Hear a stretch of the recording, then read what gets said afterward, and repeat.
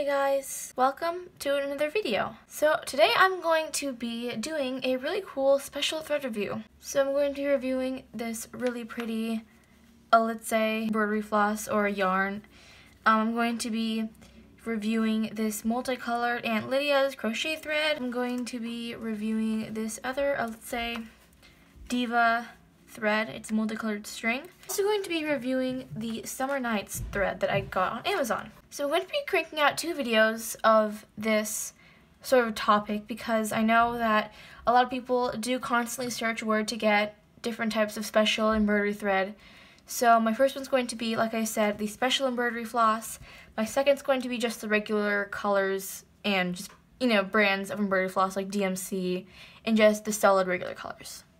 So before I get into reviewing my threads and also stating the pros and cons of each, I'd like to ask you guys who haven't subscribed to please subscribe down below to my channel. That way you will get notifications every time I post a video and teach you guys how to make friendship bracelets and other crafts as well at times. Now let's get started. So the first brand I'd like to discuss today is the Alize thread. So I do have about seven colors of this brand. Sorry, eight colors. and I got them off of Etsy. So I have these really pretty red colors. I have this sort of pinkish red, hot pink color, this dark red color, this reddish orangish color, this light pink color, this orangey yellow color, purple, green, and I have a silver here. So these threads are really pretty. I got these off Etsy like I said before. Um, I will try and leave a link in the description if I can find it again. Um, but it's a really amazing thread. It's very colorful and very vibrant um, and just very sparkly depending on what type you get. I also have this multicolored Diva yarn. So these are called like different things like the Simli um, label right here. You can see it. Um, it has the sparkles on it. And these come in different sizes. I don't know what size I got. It's I think it's probably size 10. It's yarn. Um, there's also different sizes. Like I know that Masha Knots does have um, yarn skeins that are huge and they're a lot thicker, but they still do produce the same size of knots, which I find very interesting. So now let's get into some of the pros for this brand. So like I did say, this brand is very vibrant. The colors are just beautiful and they work really well in bracelets with other colors as well. So I think that these are very good for complementing colors and if you want a sparkly bracelet if you want it to pop more then definitely use these. And they're just a great thing to have if you want to really complement your bracelets. And for some of the cons I have for these skeins of yarn is that these are pretty small. The knots are small um, that come out of these and I don't know, I feel like the plastic for the sparkles that are sort of interlaced with the pieces of yarn, they come off very easily, so I have to tie knots at the very end of the strings when I am working with these because they start to fray and they can also get pretty messy, tangle with each other, and they also snap off, which is a pretty big issue when it comes to knotting your bracelets. Next brand I would like to discuss is the Aunt Lydia's. So I've only used this brand once. It's very colorful, but not nearly as vibrant as the Alize thread. I have to say that it is pretty nice to work with. The color switching and changing in this is pretty smooth, it's pretty quick, which is good when you're knotting bracelets. Like this yarn right here that I have, the Diva, it color changes very, very slowly. Not good for making bracelets, but definitely good for knitting.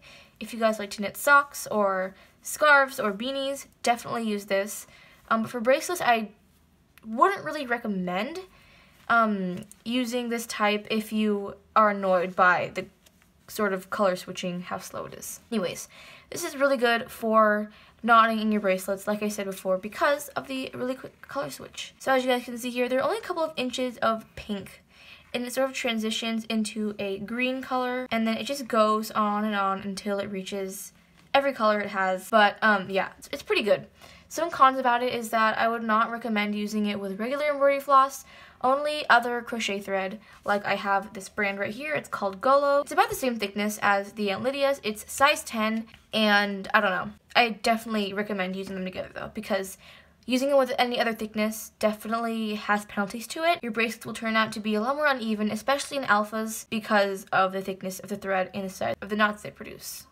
Last brand I would like to discuss is the Summer Nights. So this is a really beautiful, beautiful type of yarn. There are, I think, yeah, 800 meters on this, so it's pretty big.